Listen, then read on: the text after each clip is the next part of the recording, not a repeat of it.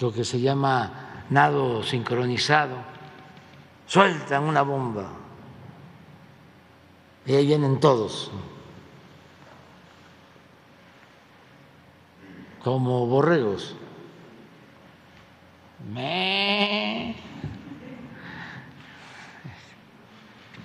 Otra bomba, ahí vienen todos.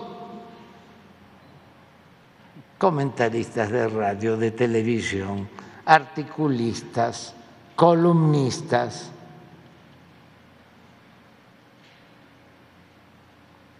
Pues eso no. Yo ni debería de estarles diciendo estas cosas. Este,